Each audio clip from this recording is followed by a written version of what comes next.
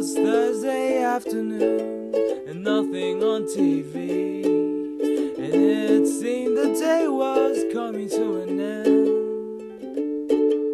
And I felt in the mood to go have some spaghetti. It was a stronger craving than your love for me.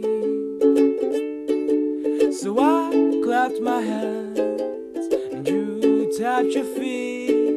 And we drove along to your favorite restaurant. And you bring the flowers, and I'll bring the wine. And we'll talk of things we haven't done in a while. So you ordered some salad, and I had the fettuccine as we sat down by the started calling about your sister's wedding, and I was kind of worried about us too. So I clapped my hands, and you tapped your feet, and we danced along to the funky beats.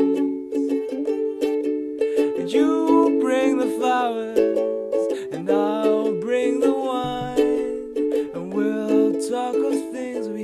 done in a while. Right. that was kind of um, abrupt.